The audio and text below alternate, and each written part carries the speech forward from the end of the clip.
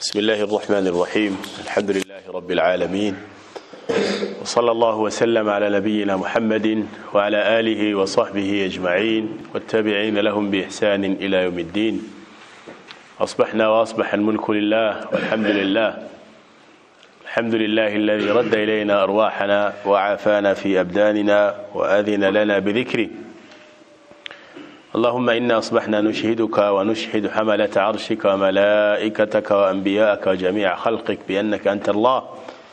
لا إله إلا أنت وحدك لا شريك لك وأن محمدا عبدك ورسولك. اللهم ما أصبح بنا من نعمة أو بأحد من خلقك فمنك وحدك لا شريك لك فلك الحمد ولك الشكر. قال رحمه الله باب فضل البكاء.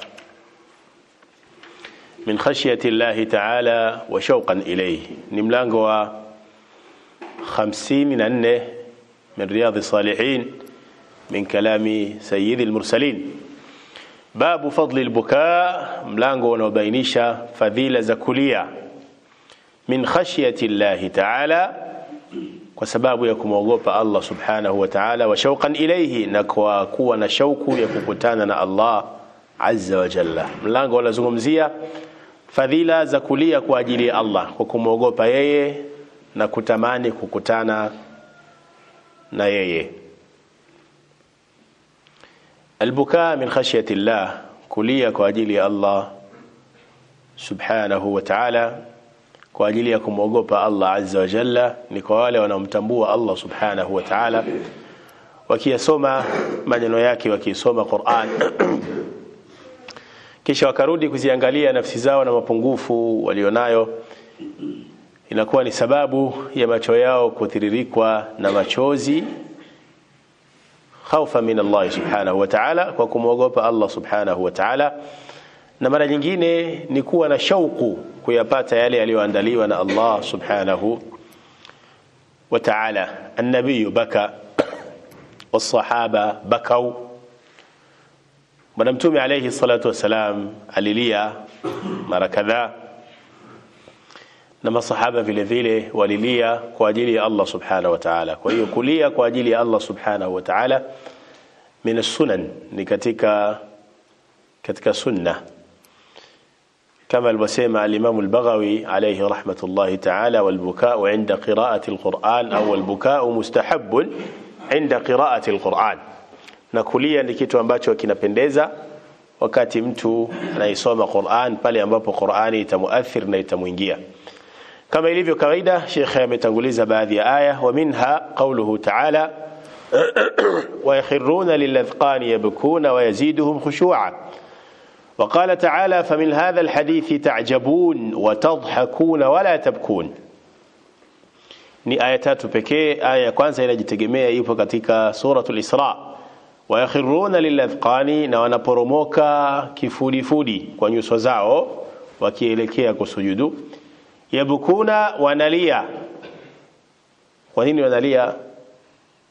Sababu ya kuisoma Qur'an na Qur'ani jinsi ilivyoathiri. Wayaziduhum khushu'a na hilo linawaongezea khushu' na unyenyekevu.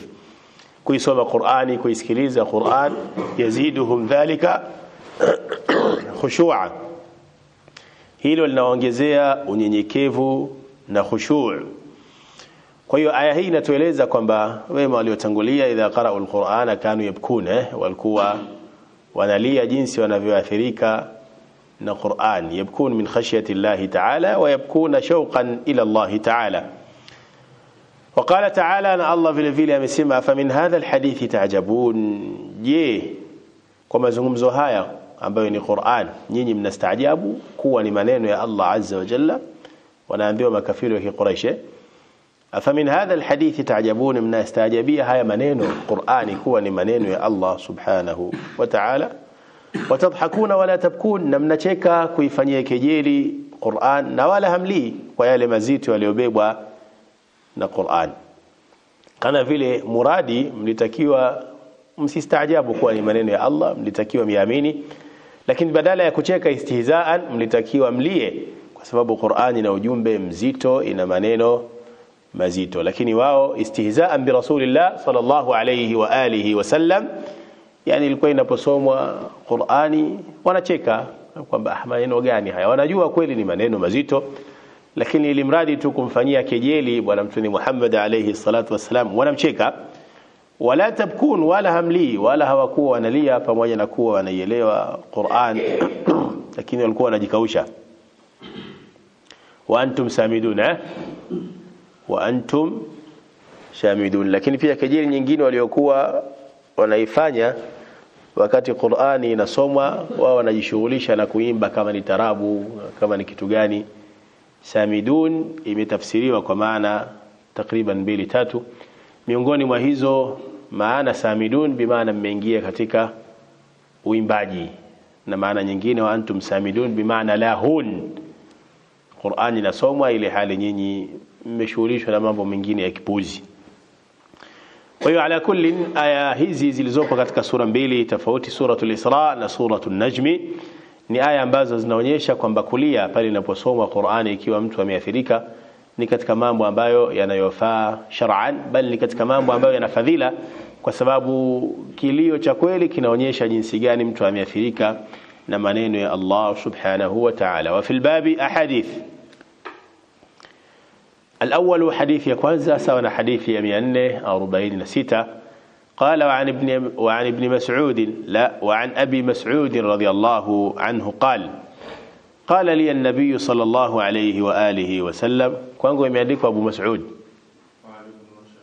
ابن مسعود إيه بس هو يتكوى من بيتا سيبو وعن ابن مسعود رضي الله عنه قال قال لي النبي صلى الله عليه وآله وسلم اقرأ علي القرآن قلت يا رسول الله أقرأ عليك وعليك أنزل قال إني أحب أن نسمعه من غيري فقرأت عليه سورة النساء حتى جئت إلى هذه الآية فكيف إذا جئنا من كل أمة بشهيد وجئنا بك على هؤلاء شهيدا؟ قال حسبك الآن فالتفت إليه فإذا عيناه تذرفان. صلى الله عليه وآله وسلم. متفق عليه. حديث يعني يبكي الإمام البخاري الإمام مسلم في صحيحيهما. أنا سيمولي عبد الله بن مسعود رضي الله تعالى عنه ونسيما قال لي النبي صلى الله عليه وآله وسلم أليواه كوني أنبيا ميم تومي عليه الصلاة والسلام.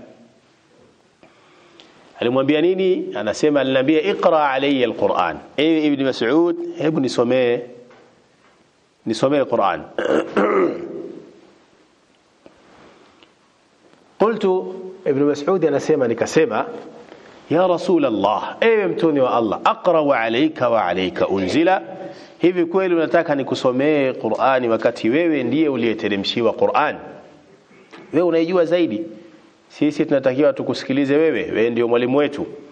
Qala akasema alayhi salatu wassalam inni uhibbu an nasma'ahu min ghairi hakika mimi napenda kuisikiliza Qur'ani kutoka kwa mwingine pia asiyekuwa mimi. Naam kusoma sahihi lakini kusikiliza pia ni sahihi fadalla hadha alkalam haya maneno yakawa wanaonyesha kwamba kusoma Qur'an ni ibada na kusikiliza Qur'an vile vile ni ibada na yote ni maelekezo ya bwana mtume Muhammadin sallallahu alayhi wa alihi wasallam قال فقرات عليه سورة النساء نكازكم سمية سورة النساء يا أيها الناس اتقوا ربكم الذي خلقكم من نفس واحدة أكيد لي عبد الله بن مسعود قال حتى جئت إلى هذه الآية mpaka nikafika kwenye aya hii ya 14 فكيف إذا جئنا من كل أمة بشهيد وجئنا بك على هؤلاء شهيدا hii sio aya ya 14 hii 41 hapa imeandikwa 14 inawezekana namba zimecheza فكيف إذا جئنا من كل أمة بشهيد وجئنا بك على هؤلاء شهيدا hali itakuwaje siku hiyo ya kiyama siku ambayo kila umma tutawaletea shahidi. Wajina bika ala haulai shahida na wewe tutakuleta kuwa ni shahidi juu ya hawa. Bwana mtume anatakiwa alete ushahidi kwa watu ambao anajua lazima watakuwa wameteleza kama binadamu. Awatolee ushahidi ni jambo zito kidogo. Qal akasema hasbuka alana. Tosha ibn mas'ud tosha hapo ulipofikia qala faltafattu ilayhi fa idha aynahu tadrifan. Nikamgeukia bwana mtume Muhammad alayhi salatu wasalam nikaona macho yake mawili yanabubujika machozi eh? yanatiririka machozi sallallahu alayhi wa alihi wasallam. Hadithi hii inaungana na anwani iliyopo kwamba kulia kwa ajili ya kumwogopa Allah subhanahu wa ta'ala. Na hapa tunamuona bwana mtume Muhammad alayhi salatu wasalam ameathirika na Qur'an mpaka machozi yakambubujika ndio maana al-Imam al-Bukhari rahimahullahu ta'ala hadithi hii ameiweka chini ya mlango unaosema babul bukai inda al-Qur'an babul bukai inda al-Qur'an yani mlango unaozungumzia kulia wakati wa kusomwa Qur'an الإمام النووي عليه رحمة الله تعالى لسمع البكاء عند قراءة القرآن صفة العارفين wa shi'aru salihin. Kulia wakati mtu anaisoma Qur'an ni sifa ya watambuzi na ni nembo vile vile ya waja wema. Wanalia kwa sababu Qur'an ina waathir Qur'an ina waathir ana hawa walikuwa wanaielewa Qur'an, wa hadha huwa almatlub wa huwa alkamal. Eh? Kinachotakiwa baada ya kuhifadhi Qur'an vile vile ujifunze maana ya Qur'an ili ukisoma uwe unaelewa kile ambacho unakisoma. Bal baadhi wanachuoni wanasema uh, ukamilifu katika usomaji wa Qur'an. Zaidi ya kuipa kila herufi haki yake kuitoa au kuitamka kwa ukamilifu wake. Lakini wanasema pia ukamilifu zaidi ni kuisoma Qur'ani kama vile unaihisi. Na anayesikiliza Qur'ani kupitia sauti yako aone kabisa ni kama vile unaendana yani sehemu ambayo kuna mkazo panatajwa adhabu na wewe sauti yako pia inakaza. Na sehemu ambayo labda panatajwa pepo neema vitu kama hivi. Isiwe ile sauti ambayo kama vile unasoma aya za jahannam. Na ukiwa unazungumzia mambo ya jahannam wa adhabuha sauti iwe inaakisi hilo. Baadhi ya wanachuoni wamesema huu ndio ukamilifu wa kuisoma Qur'ani zaidi ya hatua ile ya kuchunga ahkam uh, at-tajwid na hili hatuwezi kulifikia idha kunna la nudriku al-maana wala naarifu maana al-Qur'an. Kama hatujui maana ya Qur'an ni vigumu sababu inawezekana mtu akawa anazungumzia au anasoma aya ambazo zinazungumzia jahannam adhabu mateso. Lakini kwa kuwa hajui nini anakisoma ukakuta hata sauti yake haifanani na hicho anachokisoma. Ndio maana mara nyingine hili linaonekana pia kwa wasikilizaji hususan panaposomwa vile visomo vya kutetea ambavyo havifai vile visomo wazee wa Qur'ani wale penye mada mbili yeye anavuta kumi na mbili. Sasa kwenye sita anaweza akavuta mpaka sitini eh? mwisho mpaka unahisi anazomea huyu asomi Qur'ani ala kulli hal wamekuwa na kawaida mara nyingine mtu akishamaliza aya ile si Allah zid zid zid. Yani ongeza. Sasa inawezekana mtu anazungumza mambo ya motoni huko eh fa ummuhu hawi yasikia zid zid zid sasa wazidishie hiyo hawi au wazidishie habari gani kwa hiyo huu ni katika yani maskhara na kuifanyia kejeli kuishusha Qur'ani hadhi yake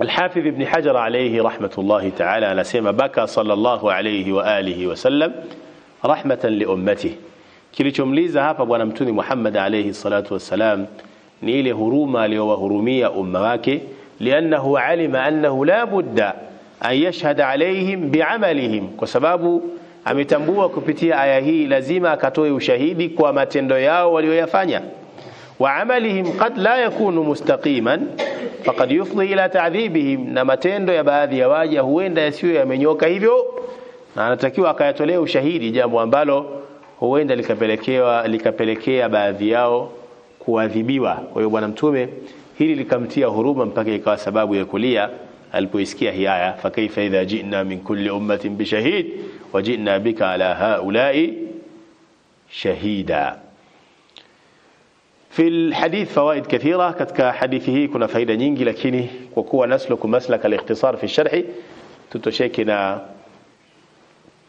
يعني hii faida yenye mnasaba na mlango kwamba mashruiyatu lbukaa inda qiraati lquran wa anna dhalika mustahabun ni swala zima la kufaa kulia pale mtu anapoisoma Qur'an na kwamba kufanya hivyo pia ni sunna ya bwana mtume Muhammadin sallallahu alayhi wa alihi wasallam. Alhadithu thani qala an Anas radhiyallahu anhu qala khataba Rasulullah sallallahu alayhi wa alihi wasallam khutbatan ma sami'tu mithlaha qatt faqala law ta'lamuna ma a'lam لضحكتم قليلا ولبكيتم كثيرا. قال فغطى أصحاب رسول الله صلى الله عليه وآله وسلم وجوههم.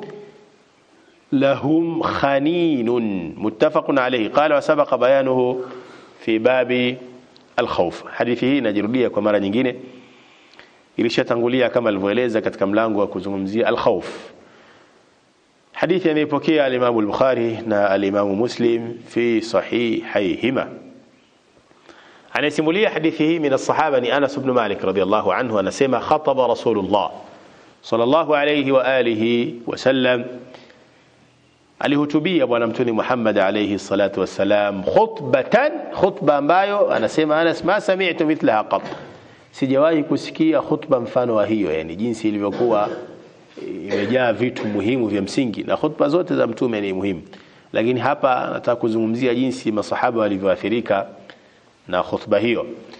Faqala akasema alayhi salatu wassalam katika yale aliyosema lau taalamuna ma a'lamu lau nyinyi mngiyatambua ni yatambuayo mimi. La dhahiktum qalilan wa la bakaytum kathira. Mwengecheka muda mdogo lakini mwengelia sana. Mwengecheka kidogo na mwengelia sana. Mambo ni mazito mno jamani huko mbele ya safari. Qala faghatta ashabu rasulillah sallallahu alayhi wa alihi وجوههم wujuhahum. Masahaba bwana mtume Muhammad alayhi salatu wassalam wakafinika nyuso zao. Lahum khaninun na wakati huo tayari wameshaathirika zimeanza kutoka kwikwi za vilio. Minunguniko ya kilio ile. Yani walipoambiwa haya maneno kwamba kuna habari nzito. Na lao mngelizijua hizo habari yani mwengecheka kidogo na mwengelia sana. Haya maneno yakawagusa sana. Kwamba kweli tunachokifanya inaonekana bado kiko chini ya standard. Fabakau khaufan min Allah subhanahu wa ta'ala wakalia kwa kumwogopa Allah subhanahu wa ta'ala. Fa fil bayan.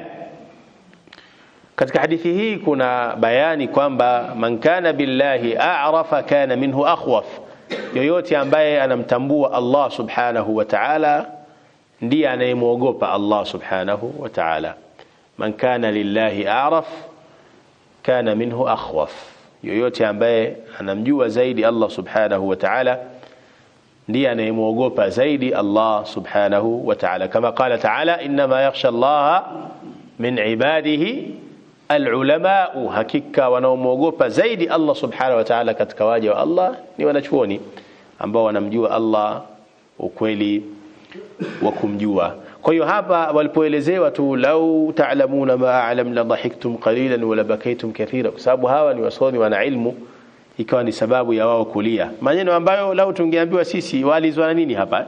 Lau ta'lamuna ma a'lam la dhahiktum qalilan wa la bakaytum kathira. Kuna chakuliza hapa katika hizi imani za kawaida hakipo. Katika hali ya kawaida lakini masahaba liannahum kanu arifina billahi fakanu khaifina minhu kwa sababu walikuwa wanamtambua zaidi Allah subhanahu wa ta'ala walikuwa wanamwogopa zaidi Allah subhanahu wa ta'ala ikawa ni sababu ya wao kulia. Kwa hiyo hadithi inabainisha kwamba inafaa kulia khaufa min Allah subhanahu wa ta'ala. Alhadithu thalith. قال عن أبي هريرة رضي الله عنه قال قال رسول الله صلى الله عليه وآله وسلم لا لا يلج النار رجل لا يلج النار رجل بكى من خشية الله حتى يعود اللبن في الضرع ولا يجتمع غبار في سبيل الله ودخان جهنم. رواه الترمذي وقال حديث حسن صحيح. حديث يعني بكى الامام الترمذي في سننه وهو حديث صحيح. كما صححه الألباني عليه رحمة الله تعالى. أنا سيمولي أبو هريرة رضي الله عنه أنا سيما مسينا متومي والله عز وجل. لا يلج النار رجل حتى ينجي موتوني أمتو أمباي. بكى من خشية الله. aliwahi kulia أو aliwahi kulia kwa ajili الله عز وجل. يعني wajalla yani mtu huyu haingii motoni ambaye alilia kwa kumwogopa Allah azza wa jal. Kwa nini haingii haingii motoni? Sababu mpaka anafikia kulia ni kule kuogopa adhabu ya Allah subhanahu wa ta'ala, jambo ambalo litamhamasisha yeye kutekeleza amri za Allah azza wa jalla na kujiweka mbali na makatazo ya Allah subhanahu wa ta'ala, na hii itakuwa ndiyo sababu ya yeye kuwekwa mbali na adhabu ya jahannam kwa rahma za Allah subhanahu wa ta'ala, illa tahillat alqasam, isipokuwa kile kiasi cha kuhalalisha kiapo cha Allah subhanahu wa ta'ala aliposema, wa in minkum illa wariduha kana ala rabbika hatman maqdiya thumma nunajji alladhina ittaqaw wa nadharu adh-dhalimina fiha jithiya, ile kupita juu ya sirat, sababu sirat iko juu ya jahannam. Lakini la yaliju nara, hata ingia motoni rajulun, mtu ambaye baka amelia min khashyati llah, kwa kumwogopa Allah azza wa jalla. Na imekuja katika hadithi, itakuja mfano wa hiyo, ainani la tamassuhuma an-nar kuna macho ya watu wawili, kwa maana ya watu wawili hawataguswa na moto. Ainun bakat min khashyati llah, kati ya macho hayo mawili ni jicho ambalo limelia kwa ajili ya kumwogopa Allah azza wa jalla. Kwa hiyo mwenye jicho hilo ambaye amelia khaufa min Allah, kwa kumwogopa Allah subhanahu wa ta'ala, Allah katika fadhila zake anasema huyo hatamuingiza motoni. Kwa hiyo hiyo inafanana na hii, la yaliju nnara rajulun, hataingia motoni mtu ambaye baka min khashyati llah, amelia kwa kumwogopa Allah subhanahu wa ta'ala, hatta yauda labanu fi dhar'i, mpaka maziwa yarudi kwenye ziwa. Hii lugha iko sawa? Lile la ng'ombe pia linaitwa ziwa, analokamuliwa linaitwa ziwa au lina jina jingine? Ndio hilo hilo. Kwa hiyo sio ziwa la maji la ng'ombe hili hata yauda labanu fi dhar'i, mpaka maziwa yarudi kwenye kwenye ziwa. Inawezekana kweli yakishatoka yakarudi pale? Sio kitu cha kawaida, kuonyesha kwamba huyu kuingia motoni ngumu, sawa na ugumu wa maziwa kurudi pale yalipotoka. Maziwa ya ng'ombe yaliyokamuliwa alafu yarudi kwa njia ile ile yaliyotokea, hii ni muhali. Mfano wa maneno ya Allah subhanahu wa ta'ala إن الذين كذبوا بآياتنا واستكبروا عنها لا تفتح لهم أبواب السماء ولا يدخلون الجنة حتى يلج الجمل في سم الخياط hakika wale waliozikadhibisha aya za Allah na wakatakabbar hawatafunguliwa milango ya mbingu wala hawataingia peponi hata yalija aljamalu fi sambi alkhiyat, mpaka ngamia apite kwenye tundu ya sindano. Ngamia eh, apite kwenye tundu ya sindano. Tundu ya sindano si mnamjua, na ngamia mnamjua, hata kingamia kidogo akipiti pale, waashiria mbali ngamia mzima, hata mguu wake haupiti. Ijapokuwa baadhi wamefasiri aljamal ni kamba ya kumfungia ngamia, hata iwe hiyo kamba, maana ina unene wa kutosha, haiwezi kupita kwenye tundu ya sindano, kuonyesha kwamba ni muhali waliokufa makafiri kuingia kuingia peponi. Kwa hiyo huu ni mfano kwamba hata ingia motoni mtu aliyelia kwa kumwogopa Allah subhanahu wa ta'ala, haiwezekani huyo kuingia motoni isipokuwa pale itakapowezekana maziwa kurudi pale alipotoka, na hilo ni muhal. Qala wala yajtami'u ghubarun fi sabili llahi wa dukhanu jahannam, wala halikusanyiki vumbi katika mguu wa mja alilolipata kwenye njia ya Allah na moto wa jahannam. Bimaana yule ambaye ametembea fi sabilillah vumbi limemuingia katika miguu yake fi sabilillah, mtu huyu hataingia hataingia motoni, kwa sababu vumbi fi sabilillah na moto wa jahannam havikutani kwenye sehemu sehemu moja. Hii inaonyesha fadhila vile vile za kupambana katika njia ya Allah subhanahu wa ta'ala, hasatan katika masala mazima ya jihad, bali kwa uwazi hadithi inaonyesha kwamba mujahid fi sabilillah naye vile vile hataingia motoni. Falhadithu yadullu ala fadli albuka.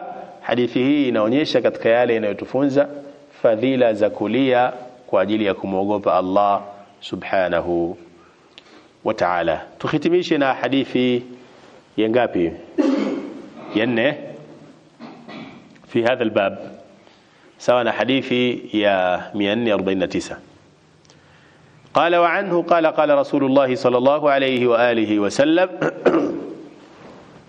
سبعة يظلهم الله في ظله يوم لا ظل إلا ظله. إمام عادل وشاب نشأ في عبادة الله تعالى ورجل قلبه معلق بالمساجد ورجلان تحابا في الله اجتمعا عليه وتفرقا عليه.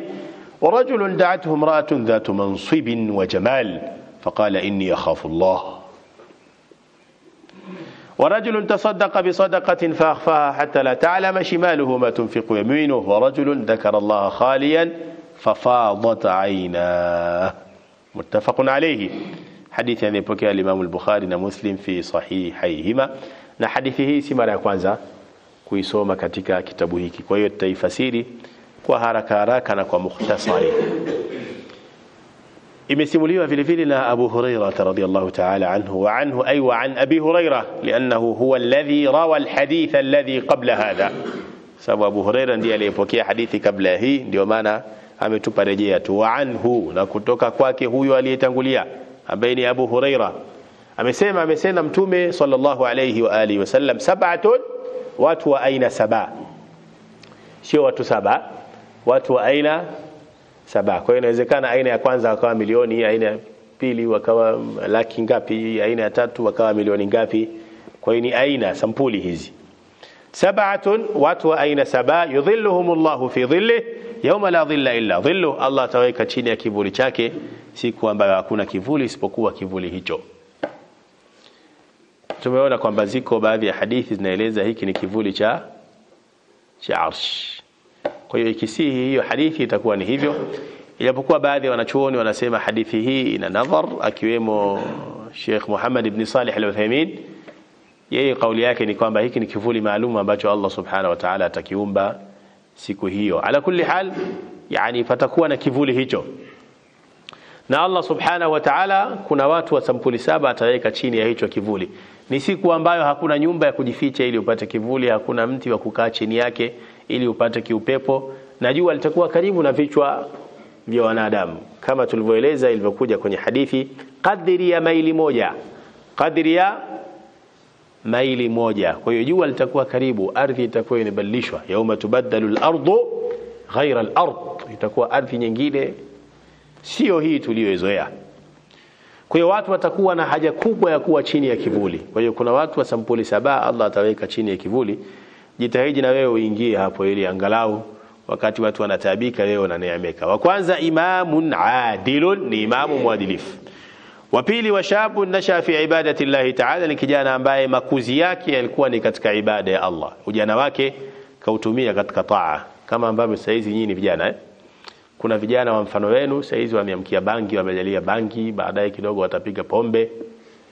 Na ndio ujana wao unakwenda hivyo lakini nyinyi Allah amewapa taufiki basi mdumu katika hii khairi ambayo mko nayo na msione kuwa mmekula hasara huenda mkaingia katika hili kundi la pili. Washabun nashaa fi ibadati llahi taala.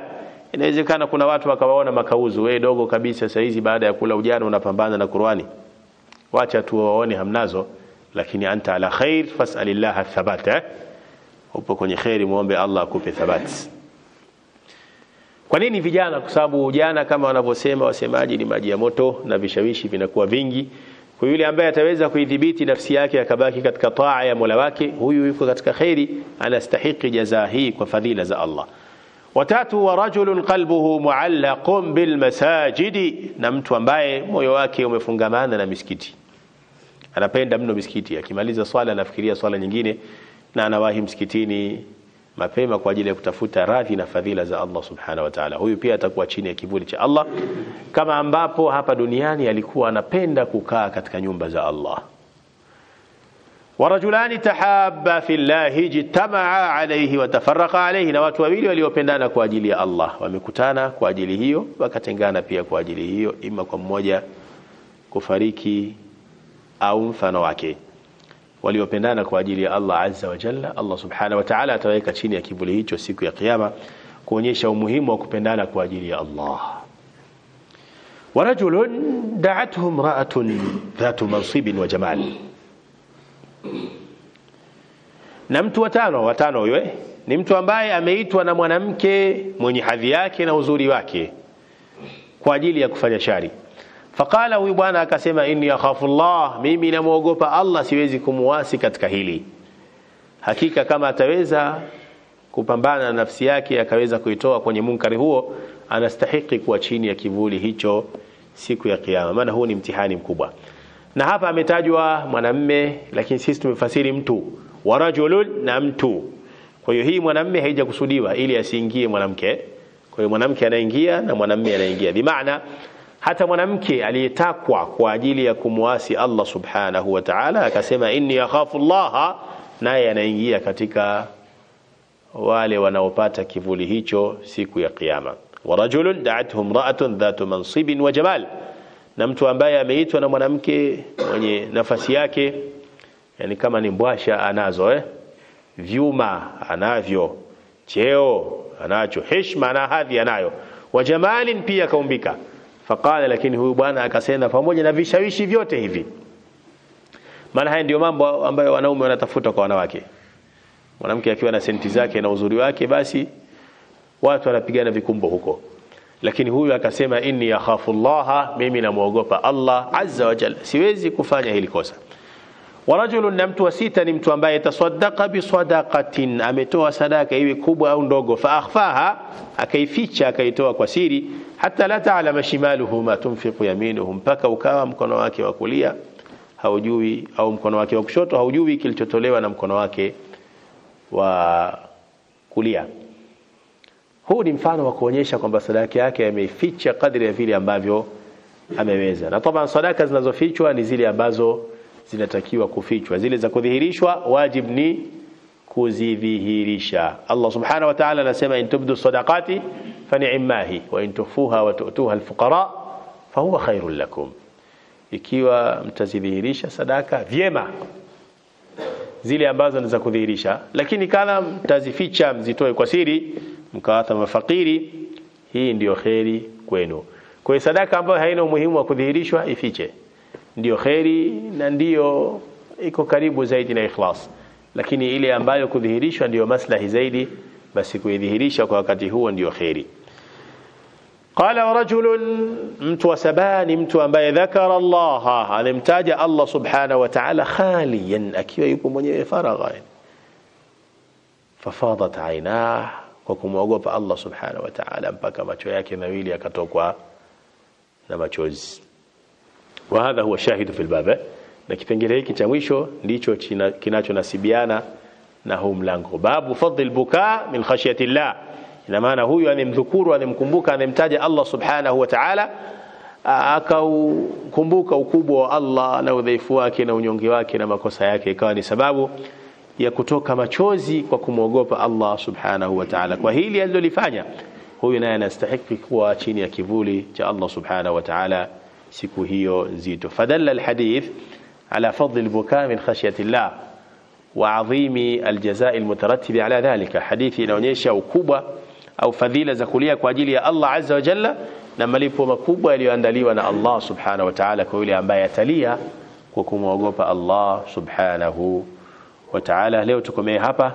Insha Allah ta'ala tutaendelea majlisi ijayo سيوم مجلس يا كيشو مجلس يجايو سبحانك اللهم بحمدك اشهد أن لا إله إلا أنت استغفرك وأتوب إليك وجزاكم الله خيرا والسلام عليكم ورحمة الله وبركاته